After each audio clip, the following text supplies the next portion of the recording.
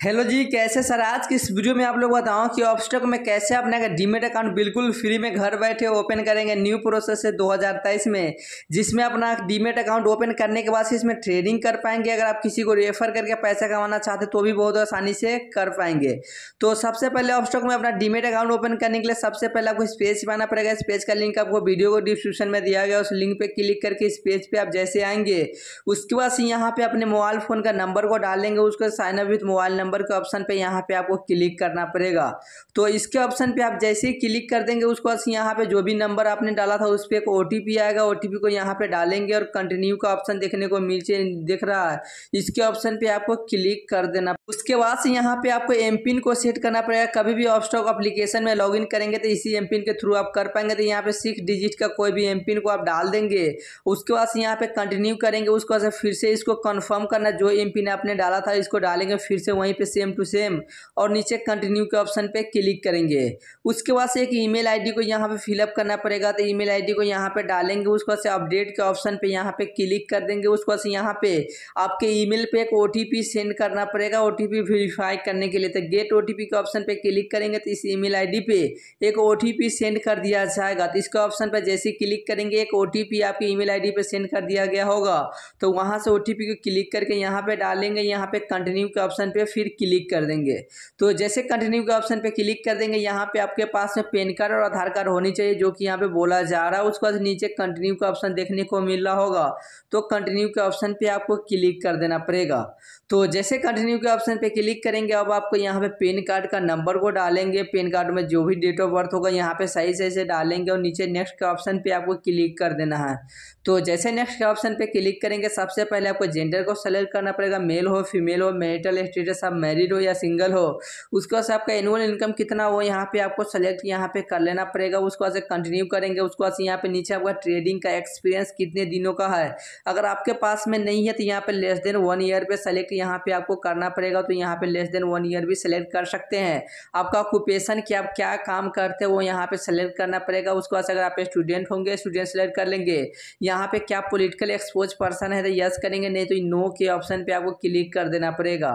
तो देख सकते हैं, मैंने यहाँ पे नो के ऑप्शन पे क्लिक कर दिया ऑक्यूपेशन पे स्टूडेंट डाल दिया, यहाँ पे नीचे आपको, यहाँ पे और भी ऑप्शन आपको देखने को मिला होगा। कि आप इंडियन हो इंडिया में ही टैक्स पे करते हो, यहाँ पे यस के ऑप्शन पे क्लिक करेंगे और कंटिन्यू के ऑप्शन पे क्लिक करेंगे। उसके बाद यहाँ पे दोनों पे आपको टिक करना पड़ेगा टर्न कंडीशन जो भी देखने को मिला होगा, दोनों पे यहाँ पे आपको क्लिक यहाँ पे कर देना पड़ेगा। तो जैसे कंटिन्यू के ऑप्शन पे क्लिक करेंगे, उसके बाद यहाँ पे आपका एड्रेस जो आधार कार्ड से उठा लिया जाएगा, आपका एड्रेस यहाँ पे आ जाएगा, उसके बाद यहाँ पे yes this details are correct के ऑप्शन पे यहाँ पे क्लिक करना पड़ेगा, उसके बाद यहाँ पे आपको जो फ्री में स्टॉक दिया जाएगा, आप लेना चाहते तो यहाँ पे I want a stock for zero rupees के ऑप्शन पर क्लिक करना पड़ेगा, उसके बाद यहाँ पर नीचे कंटिन्यू के ऑप्शन पर क्लिक करेंगे, आप आपको एक फ़ोटो क्लिक करके यहाँ पर अपलोड करना पड़ेगा, अपने फेस को वेरीफाई करने के लिए अलाउ परमिशन के ऑप्शन पर देंगे और अपने फेस के यहाँ पे फ़ोटो को क्लिक करेंगे। यहाँ पे अगर आपको आपको फिर से लेना है तो यहाँ पे रिटेक के ऑप्शन पे क्लिक करके दूसरा ले सकते हैं। अगर आपको सही लग रहा है तो यहाँ पे एक्सेप्ट के ऑप्शन पे क्लिक करेंगे और यहाँ पे कंटिन्यू कर देंगे। तो जैसे कंटिन्यू करेंगे तो यहाँ पे बैंक को वेरीफाई करना पड़ेगा। तो सबसे पहले यहाँ पे अकाउंट होल्डर के नेम को डालेंगे आई कोड को डालेंगे बैंक अकाउंट का नंबर को डालेंगे। यहाँ बैंक अकाउंट का नंबर को कन्फर्म करना पड़ेगा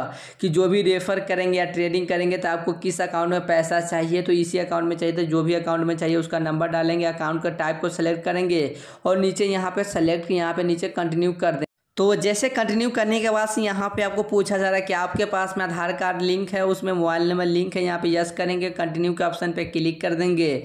उसके बाद जैसे कंटिन्यू के ऑप्शन पे क्लिक करेंगे, फिर से कंटिन्यू के ऑप्शन पे क्लिक करेंगे कंटिन्यू के ऑप्शन पे क्लिक करने के बाद से यहाँ पे आप एडिशनल सेगमेंट को इनेबल करना चाहते थे, यहाँ पे यस कर सकते हैं, नहीं तो यहाँ पे no I will do it later के ऑप्शन पर आपको क्लिक करना है और नीचे कंटिन्यू के ऑप्शन पर क्लिक कर देना है। तो जैसे कंटिन्यू के ऑप्शन पर क्लिक करेंगे, उसका से नॉमनी को आप एड करना चाहते हैं तो एड नॉमनी के ऑप्शन पे क्लिक करके नॉमनी को ऐड कर लेंगे। अगर नॉमनी को बाद में ऐड करना चाहते हैं तो नॉमनी को आप बाद में भी बहुत आसानी से ऐड कर सकते हैं। तो नॉमनी को बाद में ऐड करना चाहते हैं I will do it later के ऑप्शन पर क्लिक करके बाद में भी आप आसानी से ऐड कर सकते हैं। उसके बाद यहाँ पर साइनअप विथ आधार ओ के ऑप्शन पे क्लिक यहाँ पे आपको करना पड़ेगा। उसके बाद इसके ऑप्शन पे जैसे ही क्लिक करेंगे साइन अप की आपको यहाँ पे ई साइन इन आपको यहाँ पे आपको करना पड़ेगा। तो यहाँ पे ई साइन इन नाउ का ऑप्शन देखने को मिल रहा होगा। इसके ऑप्शन पे क्लिक करेंगे। इसके ऑप्शन पे जैसे ही क्लिक करेंगे तो यहाँ पे आपको नेक्स्ट पेज पे लेके जाएगा, जहाँ पे आपको यहाँ पे दोनों पे आपको टिक करना पड़ेगा। उसके से प्रोसीड टू ई साइन के ऑप्शन पे क्लिक कर देंगे।